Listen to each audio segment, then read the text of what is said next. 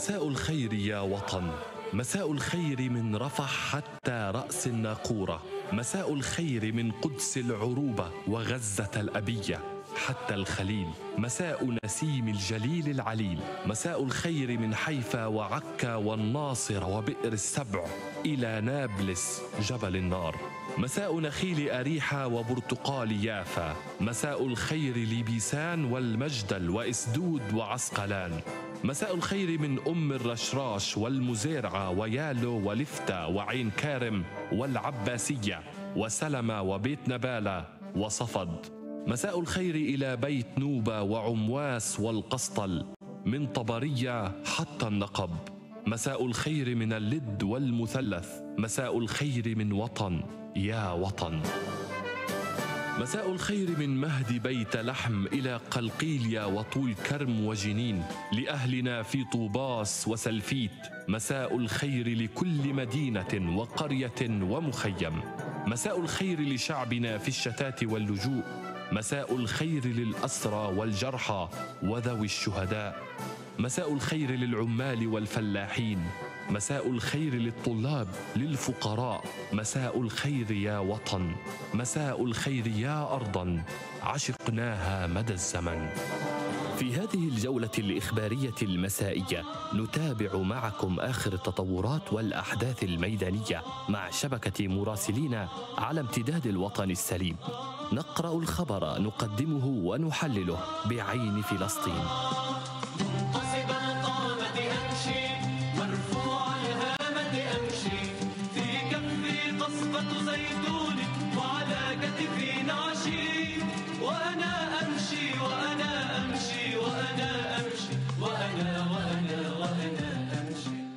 هذا البرنامج برعاية بوابة أريحة جيريكو جيت إحدى شركات أركان بوابة أريحة الوجهة الاستثمارية الأولى في فلسطين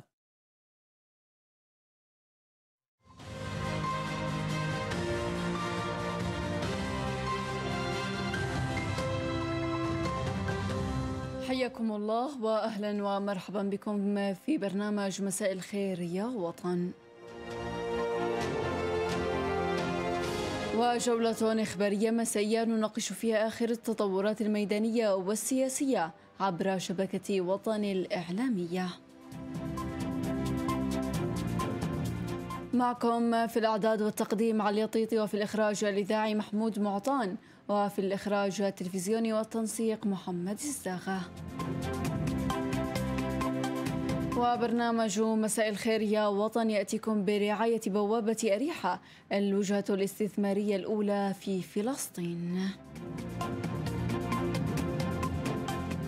ونبدأ جولتنا لهذا اليوم بأبرز عناوينها. مستوطنون يجرفون أراضٍ جنوب نابلس والخليل وينصبون خياماً.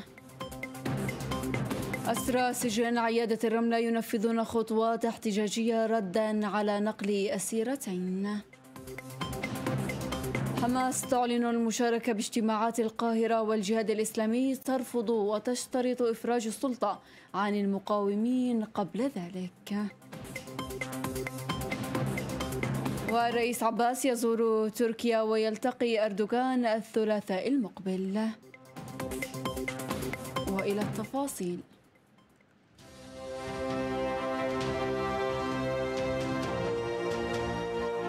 اعتقلت قوات الاحتلال اليوم مواطنا من عائلة صبلبن وأخلت أثاث منزله في عقبة الخلدية في البلدة القديمة في القدس المحتلة بعد أن استولى عليه مستوطنون قبل أسبوعين.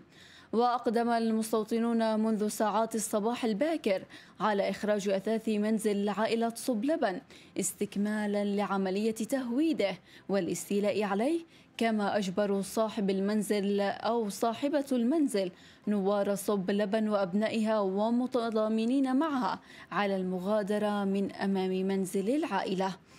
وأفاد شهود عيان بأن قوات الاحتلال اعتقلت المقدسي رأفت صب لبن أحد القاطنين في المنزل المستهدف أثناء تجمع عشرات المتضامنين.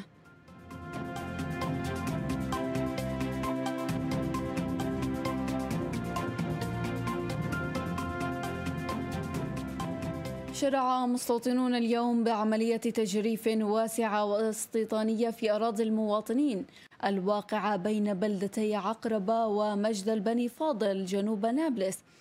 كما أفاد مسؤول ملف الاستيطان شمال الضفة الغربية غسان دغلس وأشار دغلاس إلى أن المستوطنين يسعون للاستيلاء على تلك المنطقة وأنهم سبق وقاموا قبل عدة شهور بزراعة أشجار في المنطقة كما ونفذوا عمليات تجريف هناك.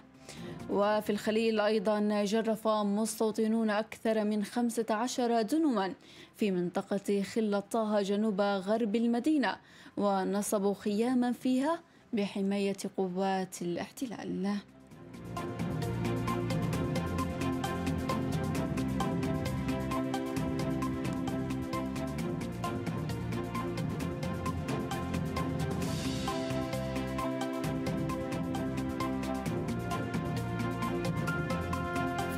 تصدى الأهالي لعشرات المستوطنين الذين وصلوا اليوم إلى كنيسة ودير مار إلياس للروم الكاثوليك.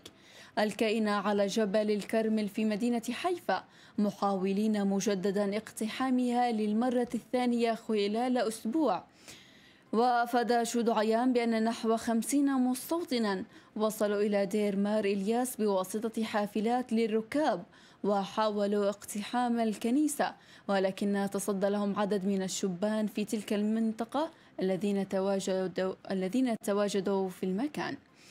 وهذه المحاولة الثانية خلال أسبوع لاقتحام المكان المقدس إذ حاولت مجموعات من المتطرفين اليهود اقتحام الكنيسة يوم الثلاثاء الماضي ومنعهم الشباب من تنفيذ ذلك الاقتحام.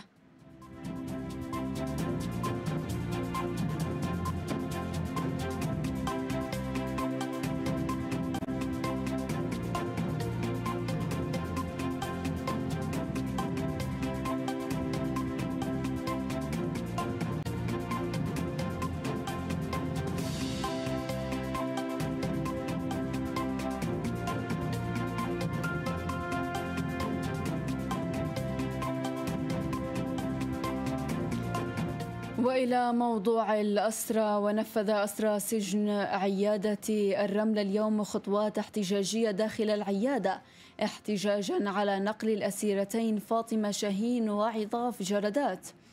وأوضحت الهيئة في بيان صحفي أن الخطوات تشمل إغلاق القسم بشكل كامل وإرجاع وجبات الطعام والأدوية وعدم استقبال المحامين.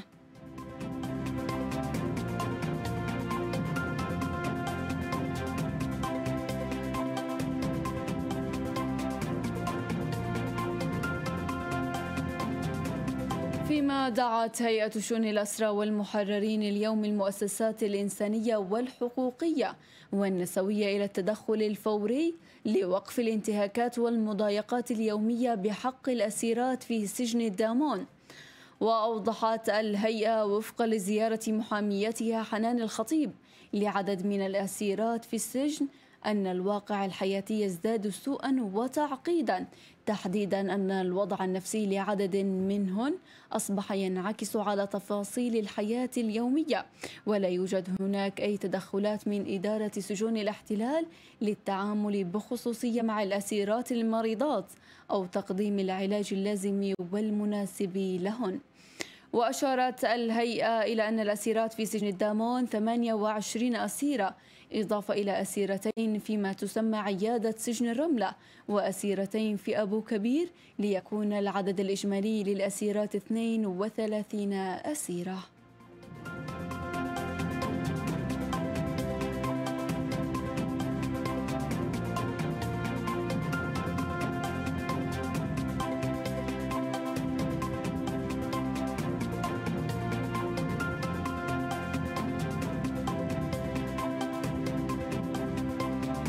تعقد محكمة الاحتلال يوم غد جلسة جديدة للأسير المصاب بالسرطان عاصف الرفاعي 21 عاما من رام الله في محكمة عوفر العسكرية.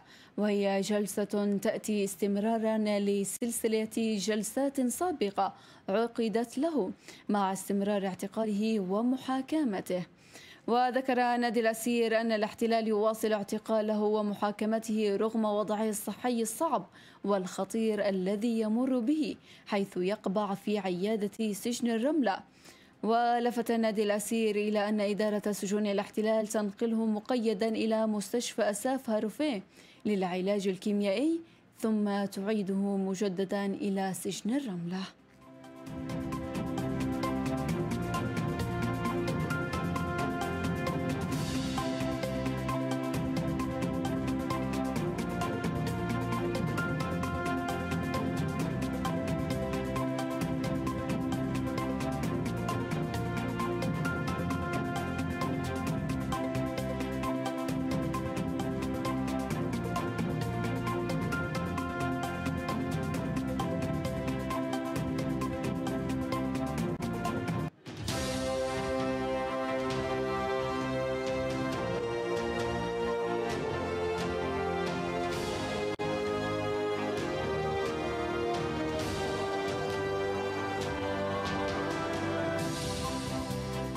وفاصل إعلاني قصير ثم نعود.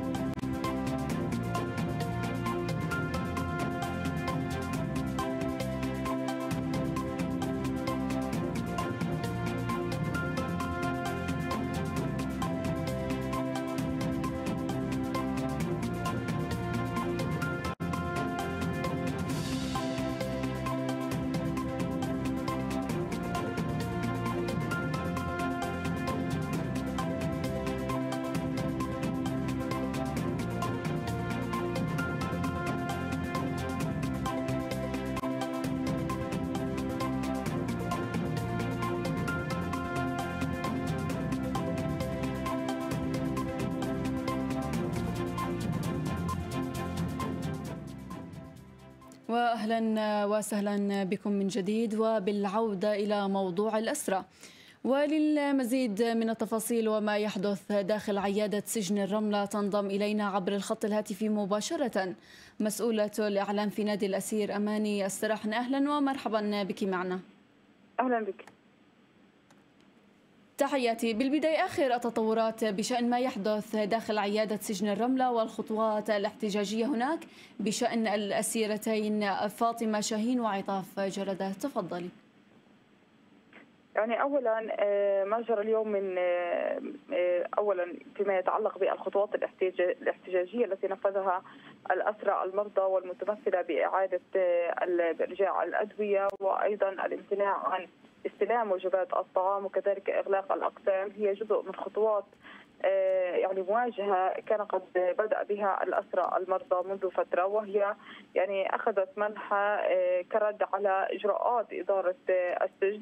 فيما يتعلق تحديدا بعملية النقل المتكرر للأسيرتين فاطمة شاهين وعطاف جردات تحديدا فيما يتعلق بقضية هذا النقل كونه أنه يجري في كل مرة إلى قسم السجناء الجنائيين وهذا الأمر ما يشكل خطورة كبيرة على مصير الأسيرتين. على الرغم من كل المطالبات التي واصل الأسرى المرضى على مدار الفترة الماضية من يعني مطالبات لإدارة السجن بالتوقف عن هذا أو عن عملية النقل إلا أن هذا الأمر للأسف تكرر أكثر من مرة على الرغم من الخطورة الصحية التي تواجهها تحديدا الأسيرة فاطمة شاهين، نحن نعلم أنها جريحة وهي بحاجة إلى متابعة صحية حثيثه ويجب أن تكون على الأقل في ظروف صحية مناسبة لها.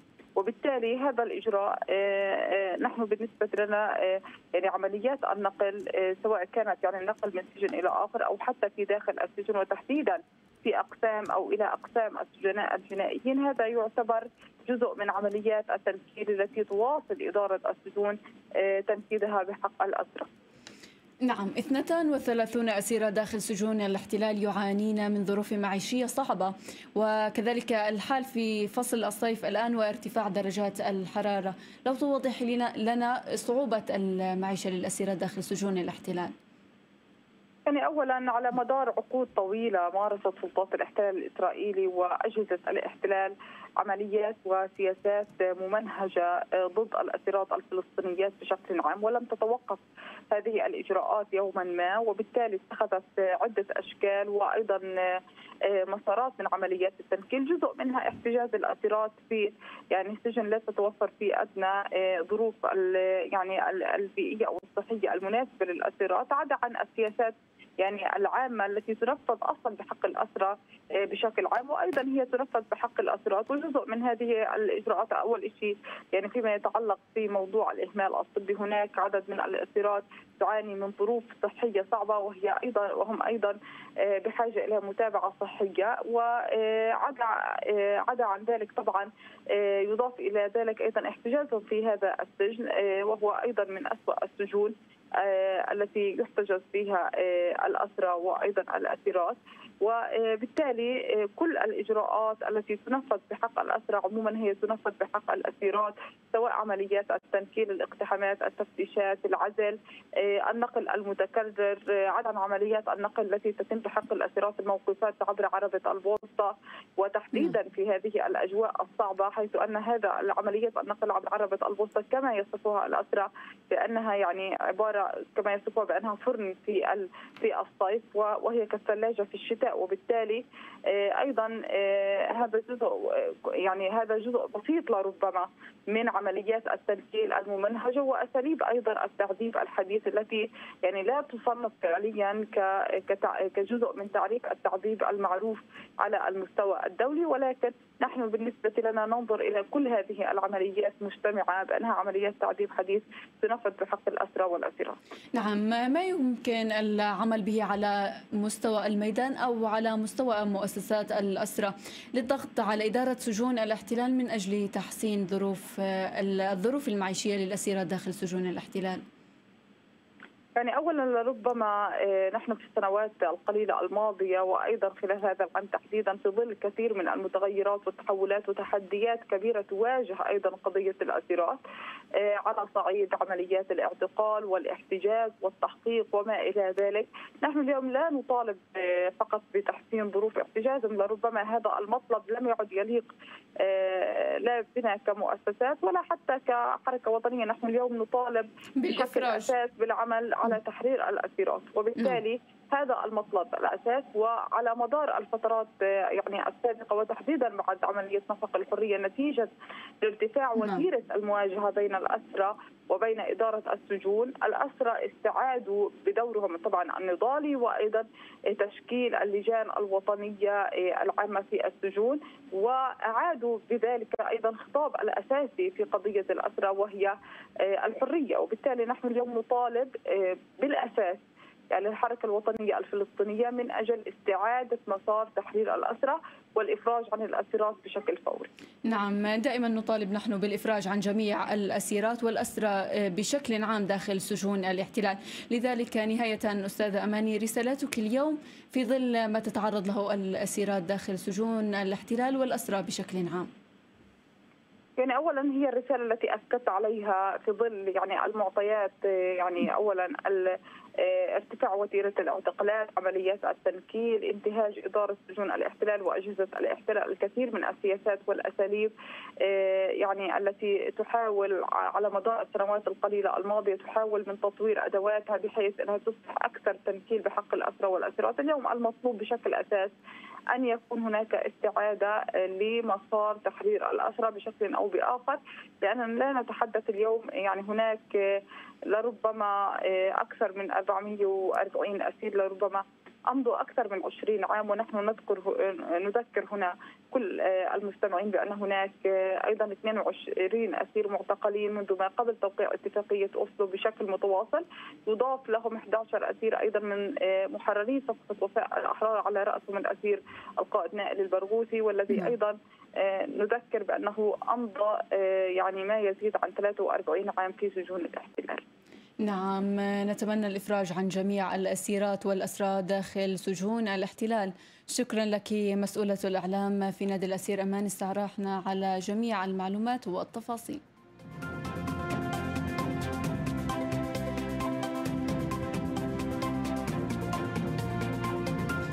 فيما أعلنت حركة حماس أنها ستشارك في اجتماع الأمناء العاميين المزمع عقده نهاية هذا الشهر في القاهرة بناء على دعوة الرئيس محمود عباس. فيما أعلنت حركة الجهاد الإسلامي بأنها لن تشارك في هذه الاجتماعات قبل أن تقوم السلطة الفلسطينية بالإفراج عن جميع المعتقلين السياسيين. وقال عضو المكتب السياسي لحركة حماس خليل الحية خلال مؤتمر صحفي الذي نظم في قطاع غزة تحت عنوان نحو خطة وطنية شاملة وقيادة موحدة لمواجهة حكومة المستوطنين الفاشية بأن حركة حماس ستشارك باجتماع الأمناء العاميين في القاهرة لتحقيق الوحدة الوطنية. من جانبه أكد الأمين العام لحركة الجهاد الإسلامي في فلسطين زياد النخالة في تصريح مقتضب بأن حركة الجهاد الإسلامي لن تشارك في اجتماع الأمناء العاميين. بالقاهرة نهاية هذا الشهر ما لم تفرج السلطة الفلسطينية عن المعتقلين السياسيين.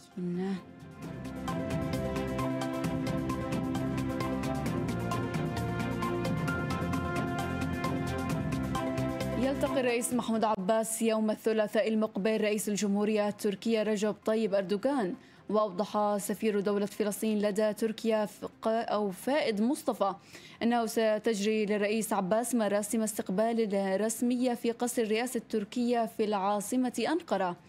وأضاف أن عباس يجتمع مع الرئيس أردوغان والقيادة التركية في إطار المشاورات السياسية المنتظمة التي تتم بين الرئيسين أو بين الرئيسيين والبلدين الصديقين في ظل ما يجمعهما من روابط وعلاقات تاريخية.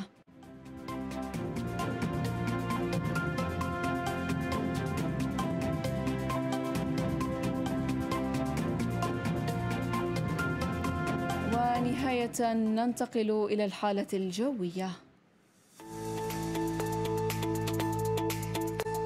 هذه الليلة يكون الجو دافئا في معظم المناطق ورياح شمالية غربية إلى غربية خفيفة إلى معتدلة السرعة والبحر خفيف ارتفاع الموج. أما يوم غد يكون الجو شديد الحرارة ولا يطرأ تغير على درجات الحرارة لتبقى أعلى من المعدل العام بحدود سبع درجات مئوية. والرياح غربية إلى شمالية غربية خفيفة إلى معتدلة السرعة.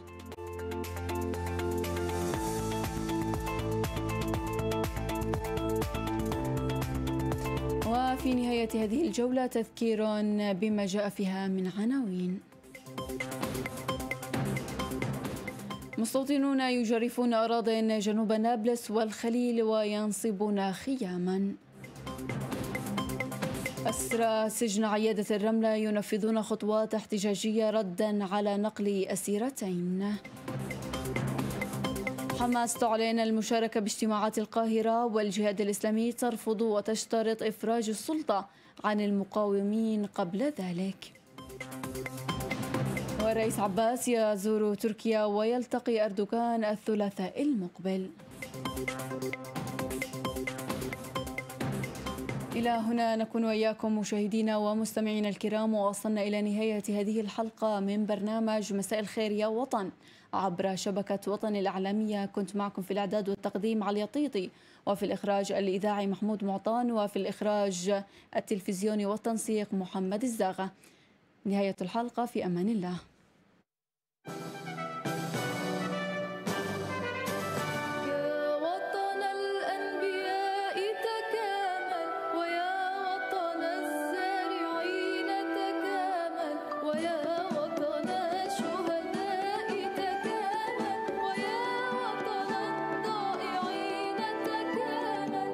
مساء الخير يا وطن.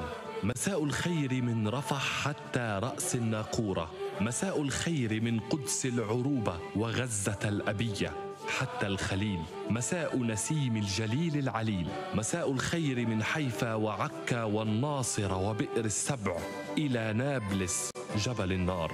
مساء نخيل أريحة وبرتقال يافا. مساء الخير لبيسان والمجدل وإسدود وعسقلان.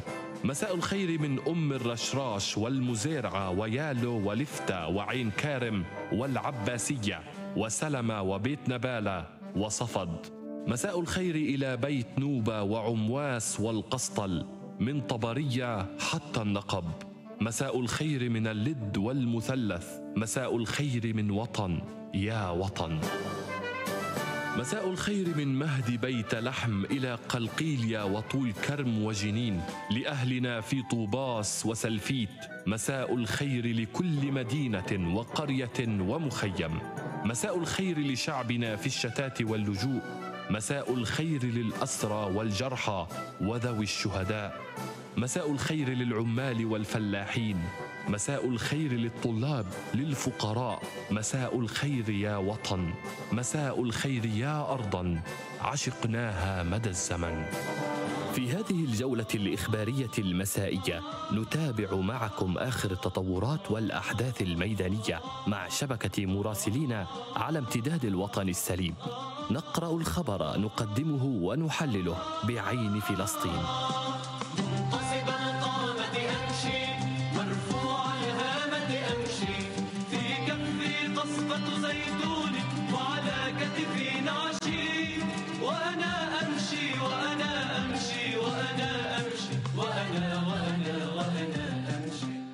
هذا البرنامج برعاية بوابة أريحة جيريكو جيت إحدى شركات أركان. بوابة أريحة الوجهة الاستثمارية الأولى في فلسطين.